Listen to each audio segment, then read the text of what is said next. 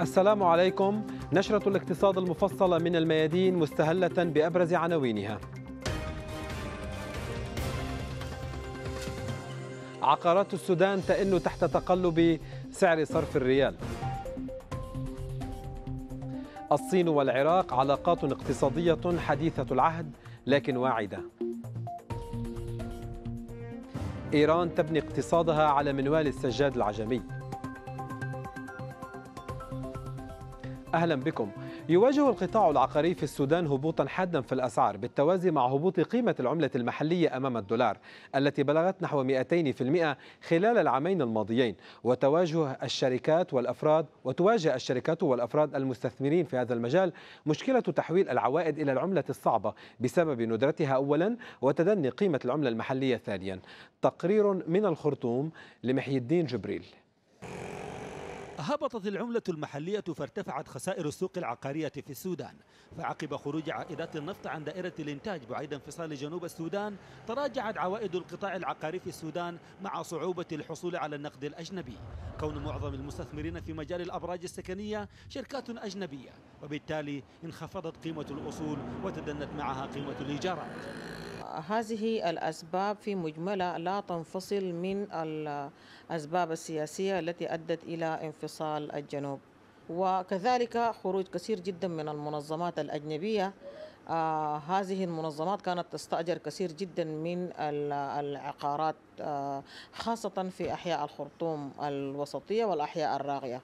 1500 شقة مفروشة وفق إحصاءات محلية خرجت من دائرة الإنتاج بخروج موظفي بعثة الأمم المتحدة لمراقبة تنفيذ اتفاق السلام وحدها مع تدني قيمة الجنيه مقابل الدولار في حال تحويل عوائد الإيجار خاصة للسودانيين العاملين بالخارج الذين يمثلون أكبر مستثمر في الشقق المفروشة. فمع هبوط سعر صرف الجنيه السوداني تراجع سعر تأجير الشقة مساحة 120 مترا ما يعادل 2000 دولار قبل عامين إلى ما يعادل 350 دولار. الناس بقت يعني كان يقول لك الإيجار إلا أجنبي ولا يقول لك يا أخي اللي بالدولار. هسه الحكاية دي يعني الناس بقت تخليها والناس بقوا مرات ما يقبلوا الواقع الجديد بتاع إنه العقار ده سعره ما زي أول. إلا بعد ما البيت ياخذ له سنة ما يتأجر ولا ياخذ له سنة ما يتباع. ويتراوح سعر المتر السكني داخل مدينة الخرطوم بين 1500 و 2000 دولار وهو سعر يعتبر قياسيا مقارنة بالدخل الذي يدره القطاع العقاري في السودان. وإن كانت معاناته لا تخرج عن سياق ما يعانيه الاقتصاد السوداني جملة إلا أن الخسارة الكبرى لسوق العقارات في السودان هو تراجع قيمة الأصول مع الهبوط الحاد الذي تعانيه العملة المحلية. محي الدين جبريل من العاصمة السودانية الخرطوم الميادين. ارتفع عجز الموازنة اللبنانية إلى 16 و13% خلال الأشهر السبعة الأولى من العام الحالي مقارنة بنفس الفترة من العام السابق. وبلغ العجز 1762 مليار ليرة أي ما يعادل مليارا و170 مليون دولار فيما بلغ العجز المحقق خلال الفترة نفسها من العام الفائت 1203 مليارات ليرة لبنانية. في حين بلغت إيرادات الموازنة خلال الأشهر السبعة الأولى من السنة الحالية نحو 9000 مليار ليرة وبلغ حجم الأنفاق نحو 10 مليارات و800 مليون ليرة. البنك الدولي خفض توقعاته لمعدل النمو لاقتصادات الدول الأفريقية الواقعة جنوبي الصحراء فبعدما كانت التوقعات تشير إلى نمو يبلغ 5 نقاط و20% تراجعت إلى 4 نقاط و18% وتعود أسباب هذا التراجع إلى ارتفاع أسعار السلع الأساسية إضافة إلى أن أفريقيا ما زالت معرضة لأثار اقتصاد عالمي هش وتباطؤ في الصين. إلا أن البنك الدولي كان أكثر تفاؤلا تجاه هذه المنطقة حيث توقع أن تصبح في فئة الدول المتوسطة الدخل بحلول عام 2025 العراق والصين علاقات اقتصادية ثنائية وتجارة متعاظمة بينهما وأسواق العملاق الصيني مفتوحة لآلاف التجار العراقيين. التنين الصيني في العراق ولكن تجاريا. علاقات اقتصادية ثنائية فيها الاستثمارات والروابط التجارية بين بلدين يسعيان دوما إلى تفعيل علاقتهما ودفعها نحو النمو. عام 2005 كان التاريخ الفاصل بين علاقات اقتصادية وأخرى. سقوط صدام سمح للدول بالتوجه نحو الاستثمار في العراق. الصين كانت في المقدمة تجاريا أو عبر شركات التنقيب عن النفط. فباتت المنتجات الصينية الصنع تحظى بشعبية واسعة في بلاد الرافدين. 80% من السلع المستوردة إلى السوق العراقية هي صينية عبر أكثر من 400 شركة. الناس تستخدمها لأن أسعارها أقل والناس يعني تستخدمها أكثر من البضاعة الأصلية. في المقلب الآخر فإن أكثر من ألفي تاجر عراقي يزورون يوميا مركز التجارة الصينية. العراقيون هم عملاء دائمون في المركز. البعض منهم يأتون حتى من بعيد ويقولون إنهم يحبون السلع الصينية الصنع. في العلاقة الاستراتيجية والاقتصادية أظهرت الصين استعدادها للتعاون مع العراق في العديد من القطاعات بما في ذلك النفط والتجارة.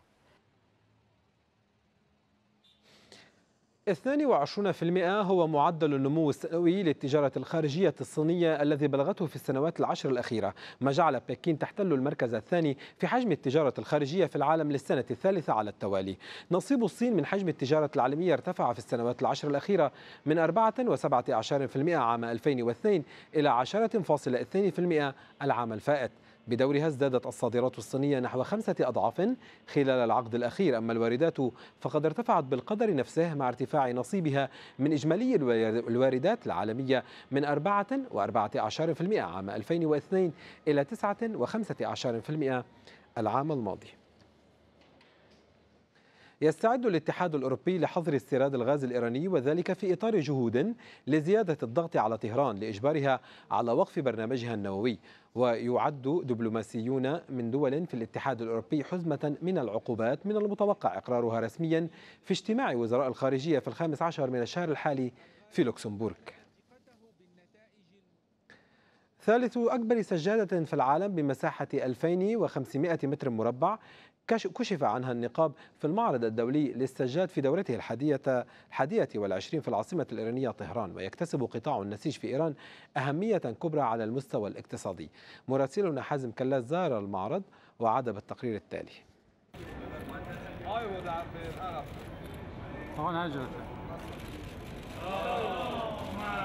شهرته فاقت حدود الوصف. السجاد الإيراني الذي شد الأنظار على مدار التاريخ لروعته وإتقانه لا تنظر الحكومة الإيرانية إليه كإرث ثقافي قومي فحسب بل كصناعة تقليدية تسعى للحفاظ عليها.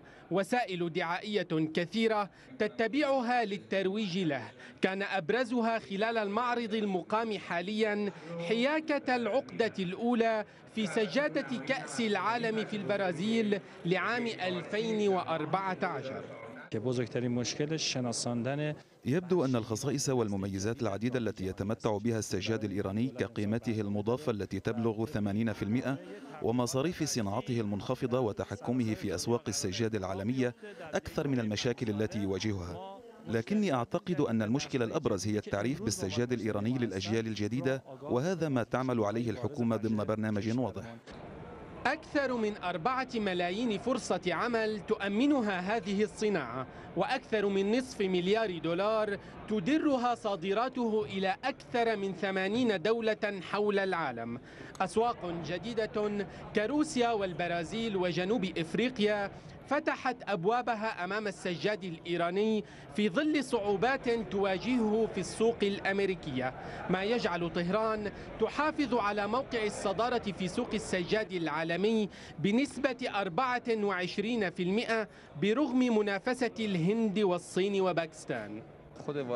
يبدو أن الموردين الأمريكيين مستمرون في إدخال السجاد الإيراني إلى بلادهم عبر طرق غير مباشرة أوروبية في الغالب. ويبدو أن فرض العقوبات على السجاد الإيراني أيضا إنما يحرم المواطنين الأمريكيين منه وحتما سنتابع الموضوع من الناحية القانونية لإلغاء هذه العقوبات. السجادة الإيرانية التي تتنوع رسوماتها بين الهرات والسرطان والزهر والشاه عباسي والمينا خالي والحناء والبيد مجنون والجوشقاني والترنجي تتميز بعمرها الذي يؤكد الاختصاصيون أنه يصل إلى ثلاثة قرون. ليست خيوطا نسجت بألوان زاهية أو رسوما بديعة فحسب. السجاد الإيراني هو ثالث أهم مورد للعملة الصعبة في إيران بعد النفط والغاز والبتروكيماويات. صنعة تؤكد الحكومة تجاوزها العقوبات الغربية كافة وتدعوها إلى الوقوف إلى جانبها فيما تواجهه من حرب اقتصادية عالمية كما تقول حازم كلاس طهران الميادين. ارتفع عدد الأمريكيين المتقدمين بطلبات جديدة للحصول على إعانة البطالة لكن بنسبة أقل من المتوقع وفقا لبيانات حكومية نشرت اليوم الخميس ما يؤشر إلى تحسن طفيف في سوق العمل. وارتفع عدد طالبي الإعانة 4000 شخص ليصل إلى 367 الفا بعدما كانت التوقعات السابقة تشير إلى إمكان ارتفاع عدد طلبات الإعانة بواقع 7000 طلب. الجنيه الاسترليني يسجل ارتفاعا أمام الدولار واليورو بعد أن قرر مصرف إنجلترا المركزي عدم التوسع في برنامجه لشراء السندات الحكومية وإثر علامات النمو التي سجلها الاقتصاد البريطاني وترك البنك سعر الفائدة دون تغيير عند نصف نقطة مئوية. التوقعات تشير إلى خروج بريطانيا من حالة الركود خلال الربع الثالث من العام إثر قرار المصرف المركزي الإبقاء على برنامجه دون تغيير لشراء ما قيمته 50 مليار جنيه استرليني من سندات الحكومة البريطانية. ما سيرفع إجمالي مشترياته إلى 375 مليار جنيه استرليني بحلول الشهر المقبل. مصرف السويد المركزي هدف جديد لقراصنة المعلوماتية. فقد عطل متسللون الموقع الإلكتروني للمصرف واستهدفوا موقعين رسميين آخرين بعدما أفادت أنباء أن مجموعة إنونيموس هددت بالهجوم دعما لمواقع مشاركة الملفات على الإنترنت. القراصنة تلقوا توجيهات باستهداف موقع البنك المركزي بعدما داهمت السلطات شركة تقدم خدمة الإنترنت كجزء من حملة لإغلاق مواقع مشاركة الملفات. مع هذا الخبر نأتي إلى ختام النشرة الاقتصادية المفصلة. نشكر لكم حسن المتابعة. إلى اللقاء.